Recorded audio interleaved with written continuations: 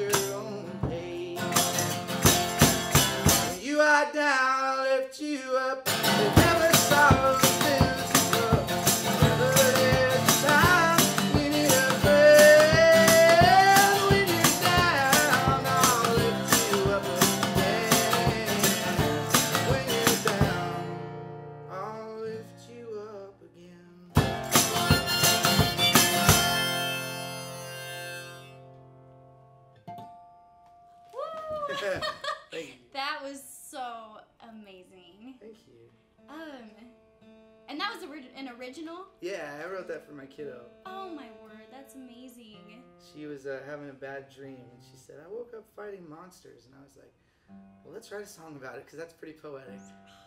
That is so good. And the part about was it eating a butterfly?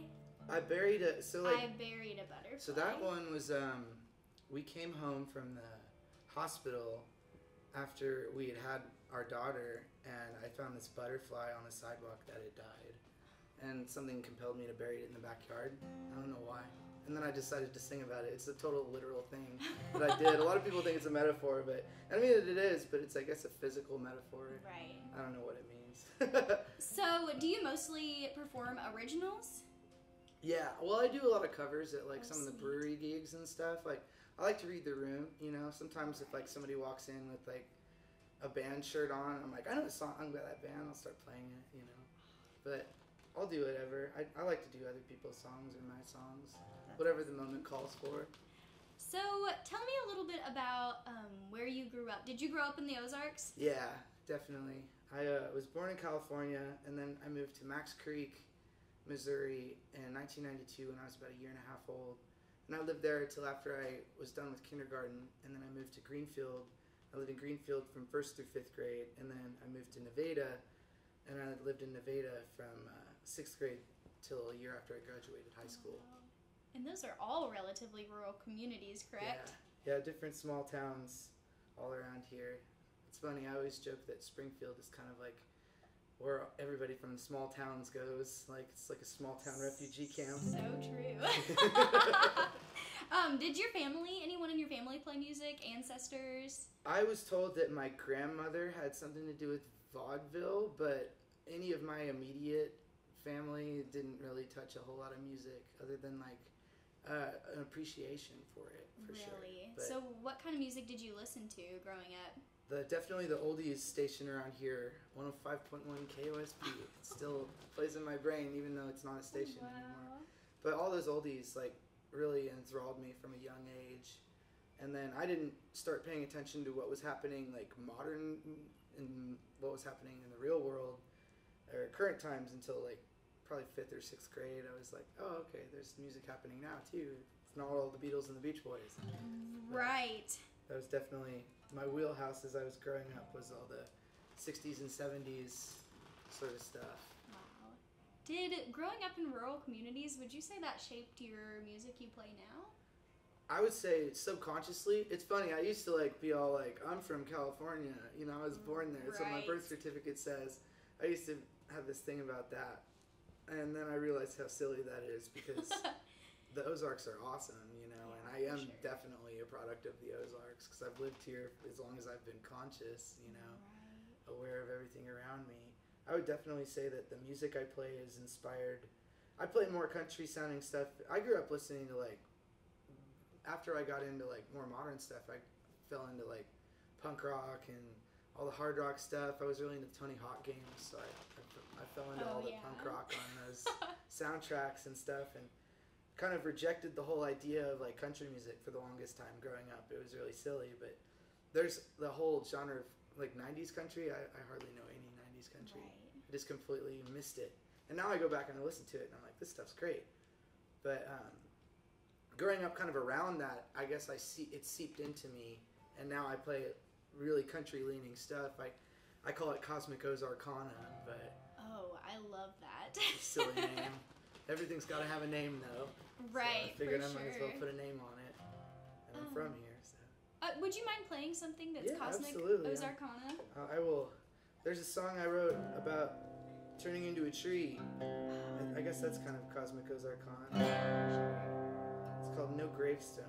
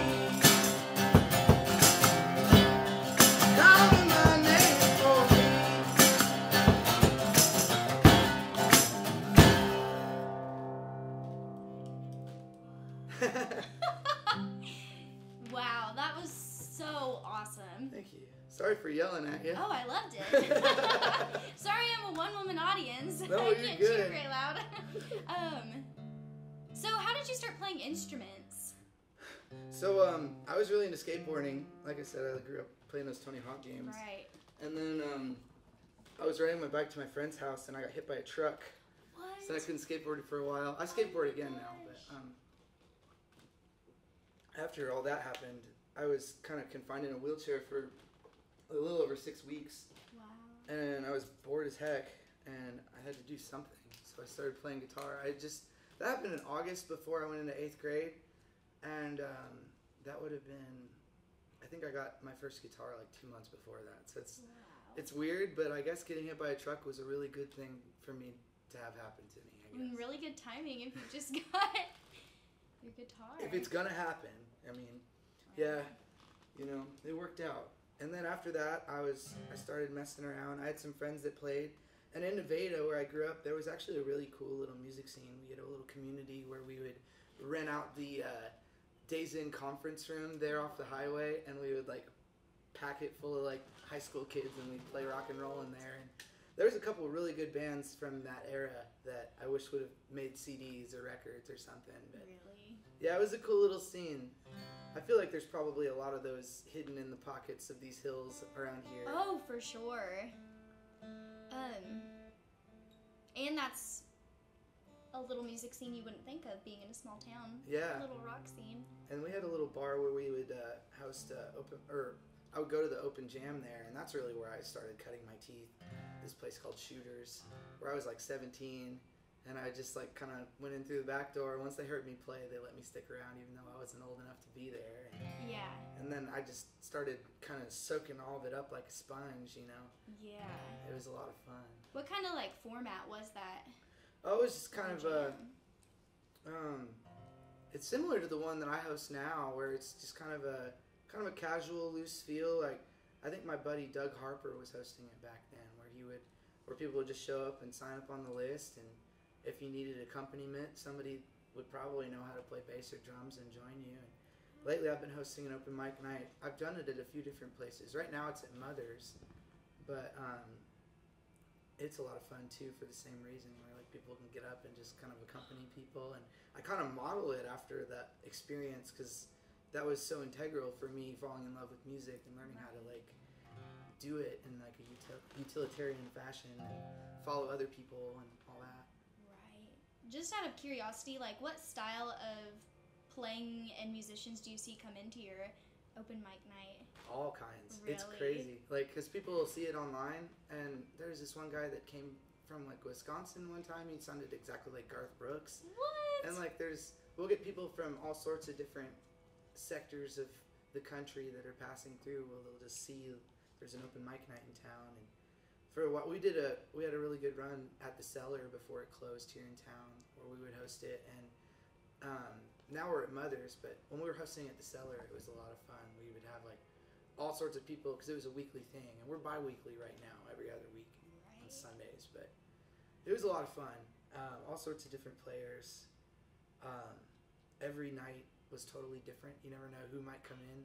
There could be like a total like legend in the scene, and you're just like, wow. I'm, I, it was actually how I got to play with a lot of the people that I, I kind of like cut my teeth around here looking up to, and now it's like, wow, we're sharing a stage right now, like you're playing a solo while I'm playing like chords, and holy crap, you know, it's it's crazy just to all the osmosis of the scene around here is really cool to just be a part of, oh yeah. witness. I could ramble about it forever. it's fantastic.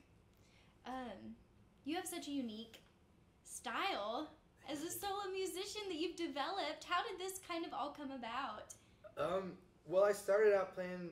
Um, I started out singing in a metal band, and then um, and that was that was before I, I had started writing songs, but I wasn't super good at it yet. And the other guy in the band wrote all the lyrics, except for like one exception where I kind of helped with stuff. But I was still like I played guitar, but I wasn't like confident enough beyond like just doing acoustic stuff. And then that happened for a couple of years, and then I moved to Champaign, Illinois, for about two years because my parents lived there. After Nevada and all that, they moved out that way, and while I was out there, I started busking a lot on the street because there is a lot of different places, and I guess I sort of got the mentality of like reading an area and like figuring out like what people would want to hear really from doing all of that. And then I, I traveled a lot and we would busk and we went through like asheville north carolina stayed there for a couple weeks just playing on street corners. It was like 10 years ago now. It's crazy to think but it was definitely uh, i think that definitely helped develop sort of the vibe that i have sort of this kind of vagabondy thing i go for i guess Ah, yes. It's so unique. Um, thank you definitely Shakey Graves too is an influence if you know who that is. huh? Tell me about. He was the first guy that I saw do something similar to this, where he's got a suitcase and he had a tambourine. And his situation's a little different because I used the license plate as sort of a snare drum, and and that was honestly just an accident. That Really? it, it just worked out that way. I just sort of had an idea, and for a while I was using a wooden beater, and now this is just falling apart. And honestly, the only thing making the thwack noise is the actual like the thing that holds the beater isn't even there anymore. but it still makes the noise. Yeah. So it's fine. I'm, I, for a while, I was leaving so many wood chips everywhere I'd go because the license plate would eat them up. But it's definitely a work in progress, and I'm constantly like rebuilding this thing. It's so fun. It's, it's a trip. I can't believe it's it's where it's taken me where I am. You know. Yeah. Looks like you got another song. Well, um, talking about busking in Asheville. Yeah. it reminded me of this time that um, we were out there and we met this guy, and his name was Chance McClary, and um, he uh, he's this cool dude. He walks up and he's got like sunglasses on. It's like midnight, by the way, and and like he's like you can tell he he looks like James Dean if he never died in the car crash. You know, and he just like oozes cool. So he walks over and, and we jam for a little while. We've got probably like ten hippies doing a street corner symphony or whatever in the middle of Asheville. And this guy walks up and we're jamming some blues, and then we just get to talking about life for a while. And he tells me about his time in the Vietnam War and how he lost his brother. Oh. I guess it's not a normal thing for relatives to be in the same platoon, but that was the case for him and his brother. And um, he lost his brother, and the way that he told me the story about it, and it just stuck with me. And it's probably like a year or two later before I actually wrote the song about it. And I don't know whatever happened to him or where he's at, if he's still around. Or I looked for him online, but I didn't have any luck. And for the longest time, I misheard his name as McLaren, but it was actually McClary because I had a friend go to the uh, Vietnam Wall and found his brother's name on the wall, and uh, that's what the song's called. It's called "Name Upon a Wall."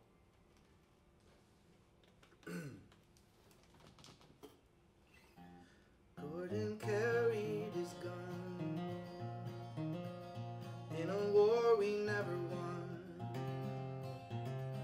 He choked down his final breath in his brother's own caress. And one day I met the man who had Gordon in his hands when his blood was spilled in vain. His bitter fingers point the blame at our blind society and all the shepherds to the sheep had the audacity to lie when they said God was on our side.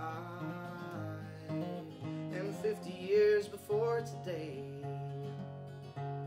amongst the bullets and the blaze, Gordon McClary once stood tall. Now that's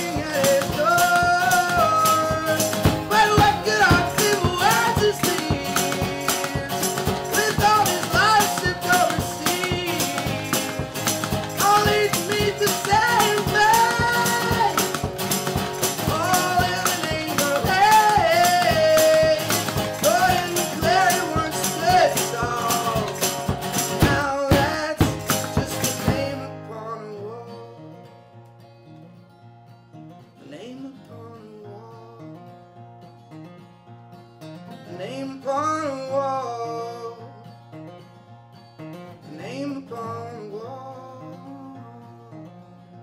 Name upon a wall.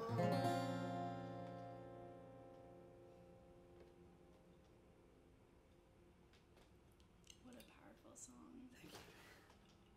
And a song that unfortunately many can relate to.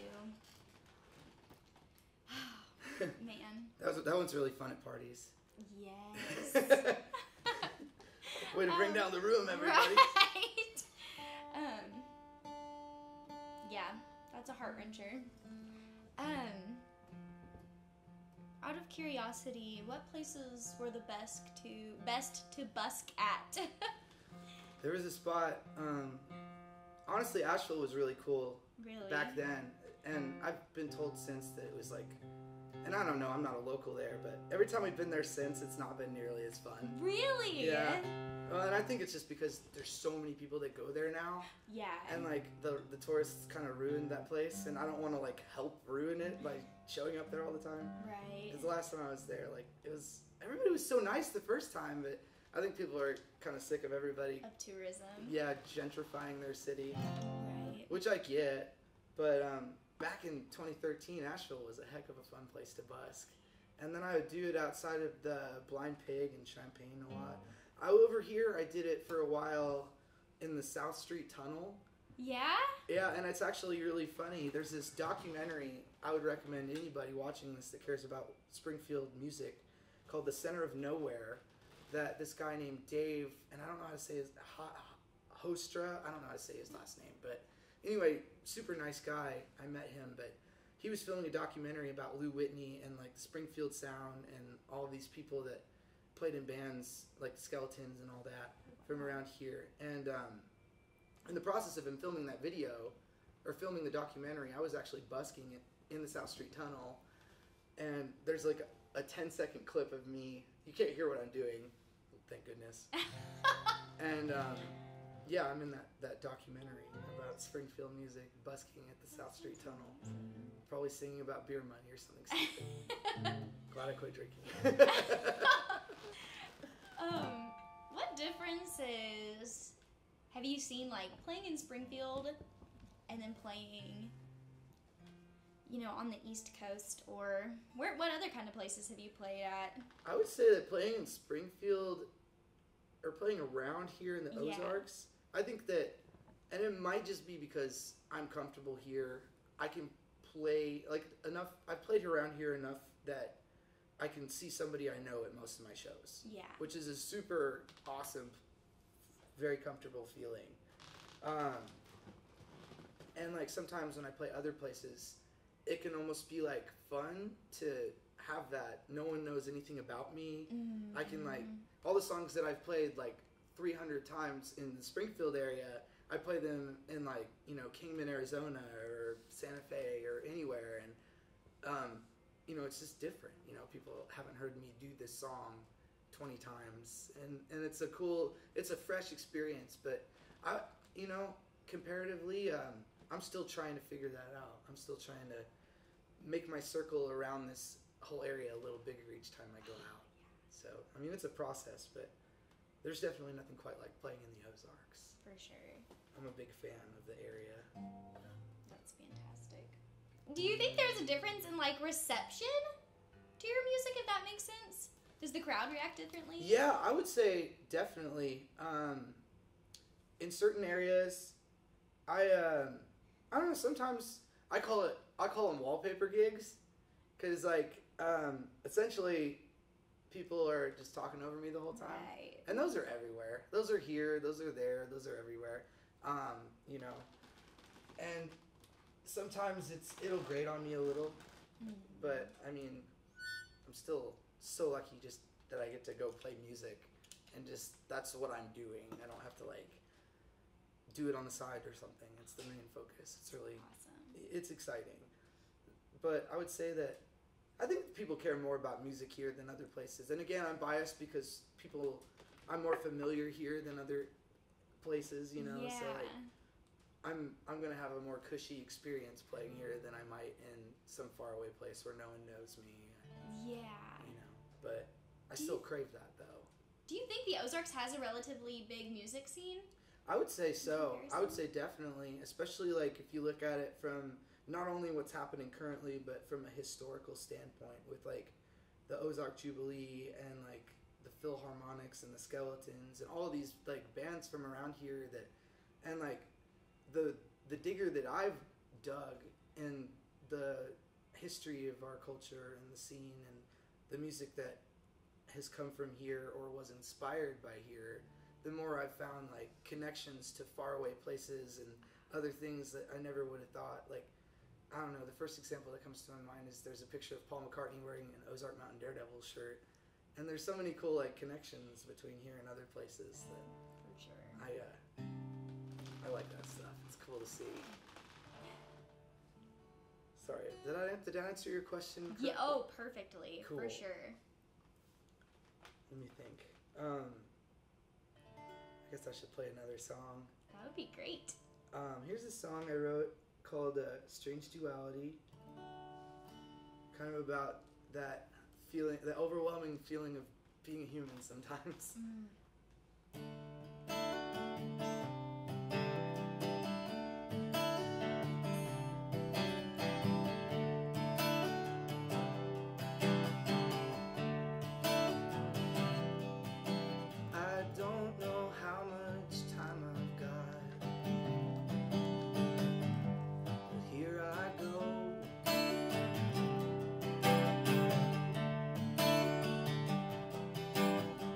Try to make sense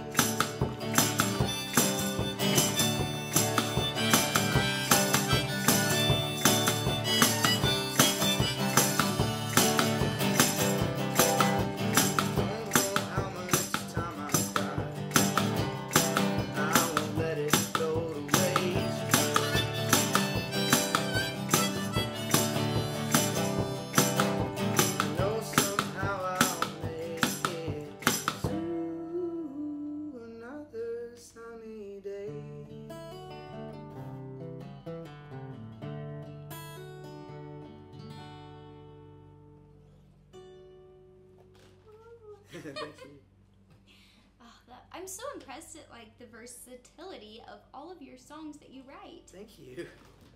I mean, I try not to write the same song twice. oh yeah, it's fantastic.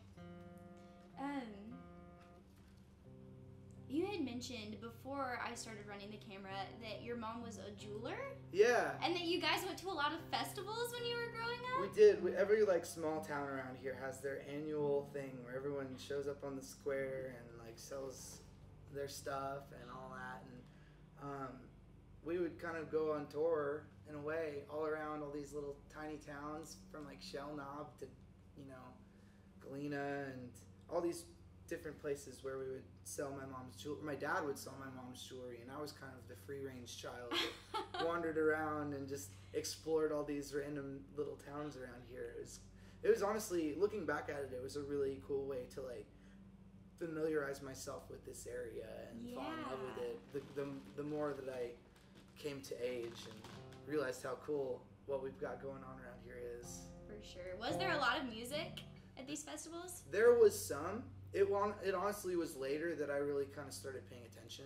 Yeah. because I was more focused on like trying to find. I was an only child till I was nine, so I was like focused on like trying to find friends and all that stuff. But um, and then by the time my brothers came along, we weren't doing the jewelry stuff as much.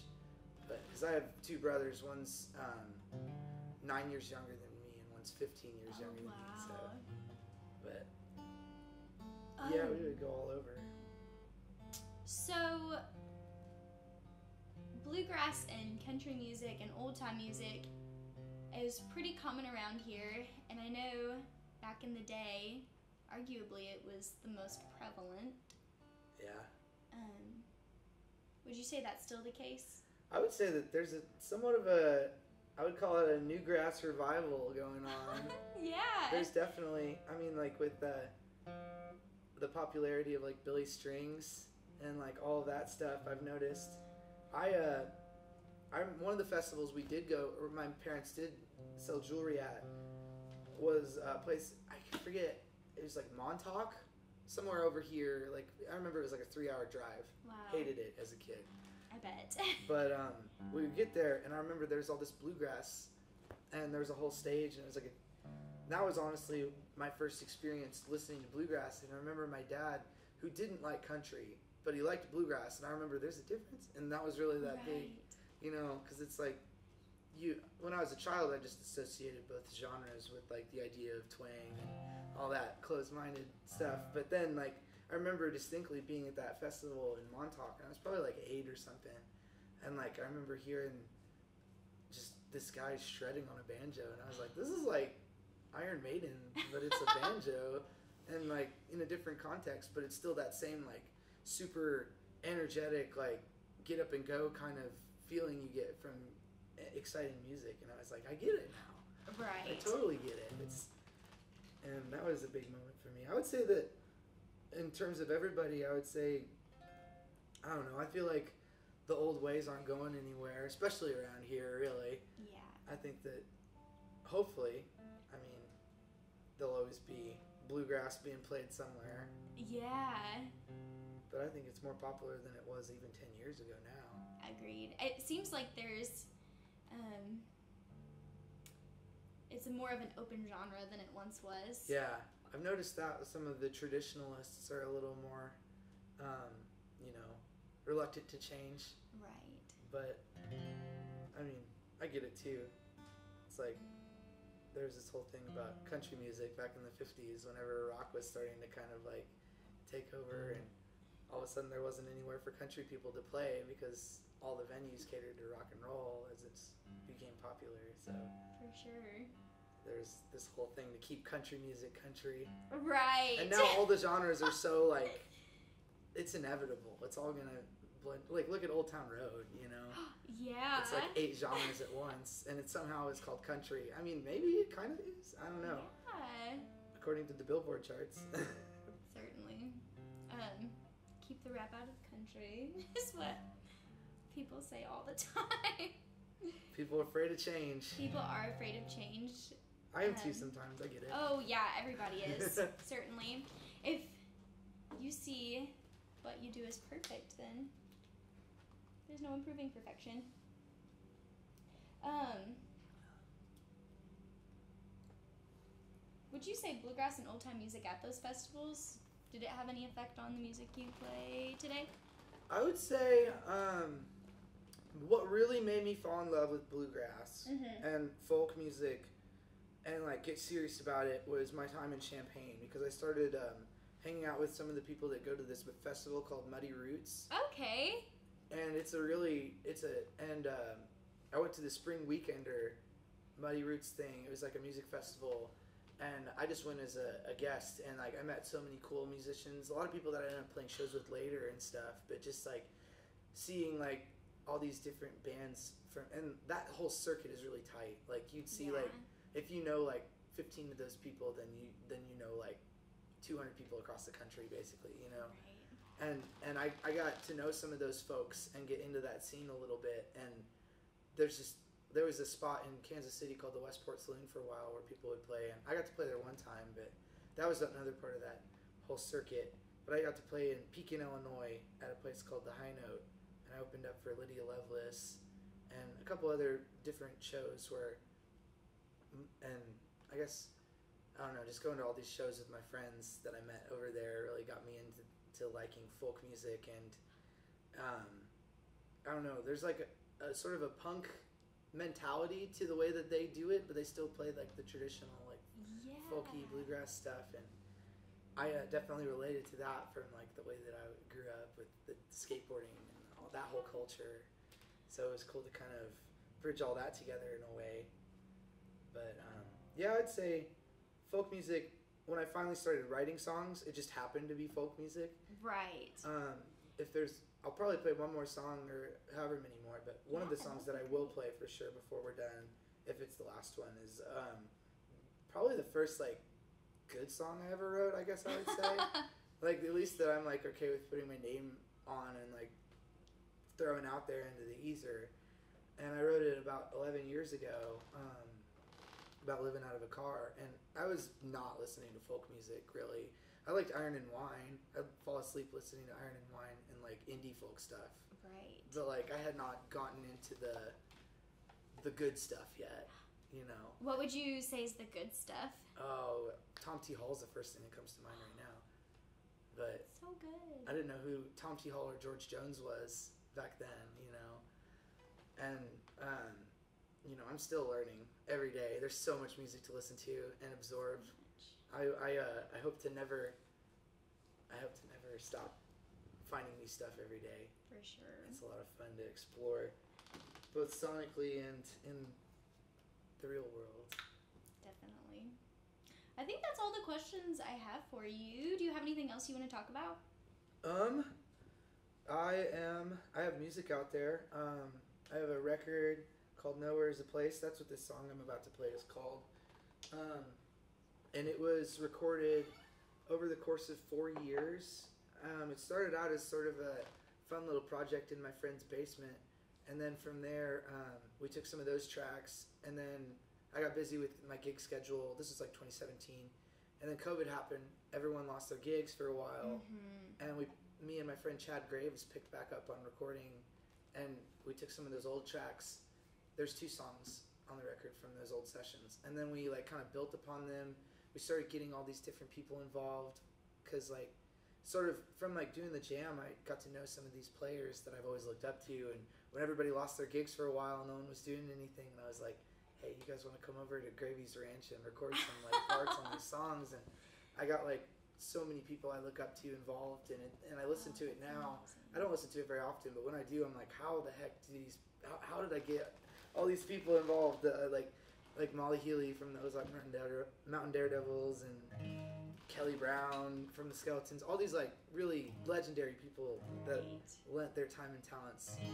But anyway, that's on on my website on Spotify. I've got a live record on my website that's not on Spotify, Oh, justinlarkinmusic.com. Do you have any gigs you're really excited about this year? I have a few. I'm playing. Um, I'm playing the state fair in Ohio. Super random. Oh, that's so fun. Yeah, I'm. Uh, I just got back from my tour that I was really excited about, and now I'm like, what now? But I'm planning a new one where I want to go out west to California to see my grandparents because they live out there. Mm-hmm. So uh, that one will be exciting. I've booked as far as Taos. I've got a show in Taos in June. And that's a cool town if you've never been out that way. Hippie cowboy town. But yeah, I'm excited. Gonna live out of my car for a little bit. It's kind of the subject matter of this one.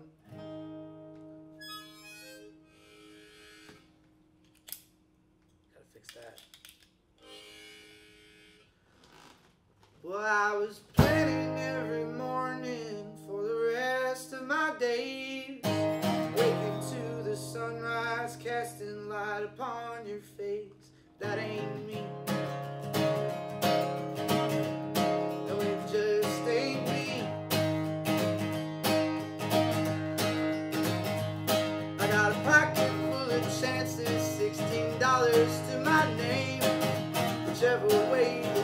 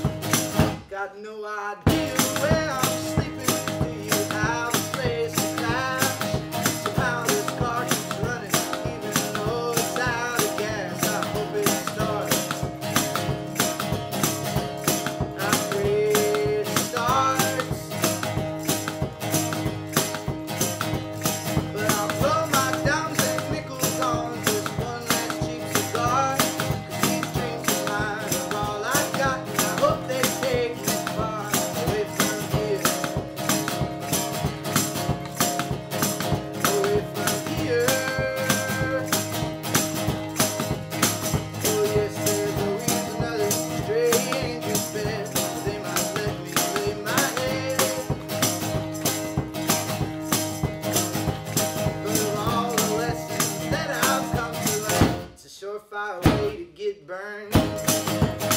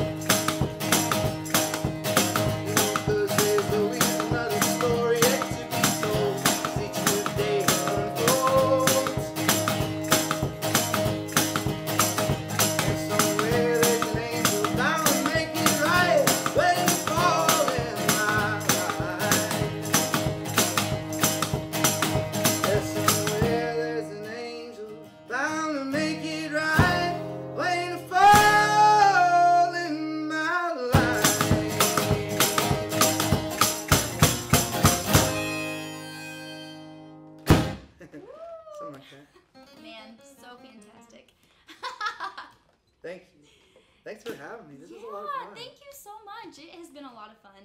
And that that's the title track of your album? Yeah, no, where's the place? Sweet. Check it out, everybody. Check it out. And this has been another edition of Songs of the Ozarks. Thank you so much, Justin. Thank you. This is a lot of fun. A lot of fun.